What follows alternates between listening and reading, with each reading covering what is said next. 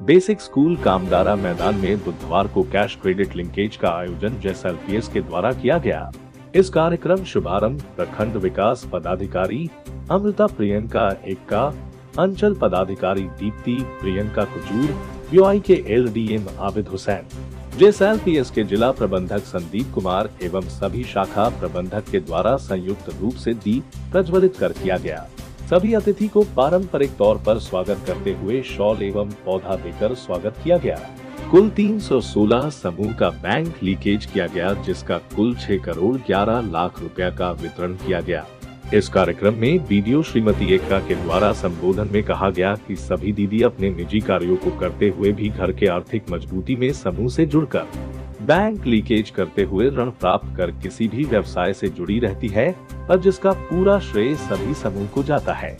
LDM Abid Hussain के द्वारा वित्तीय साक्षरता एवं डिजिटल ट्रांजेक्शन के बारे जागरूक करते हुए सभी समूह के दीदी को बीमा से जुड़ने एवं अपने नजदीकी समूह के दीदी को जागरूक करने को कहा गया।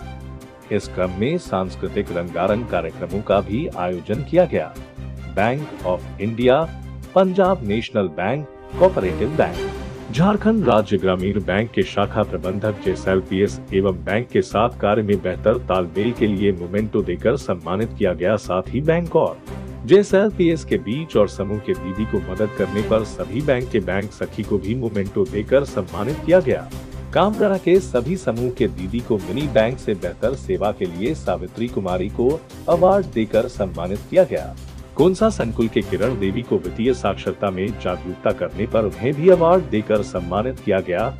कोनसा संकुल की रीमा देवी, आशा देवी, कुरकुरा, सुषमा राव एवं कामदारा संकुल के गिरिधर कुमार सिंह एवं सबला खातून को उत्कृष्ट कार्य करने पर प्रशस्ति पत्र देकर सम्मानित किया गया?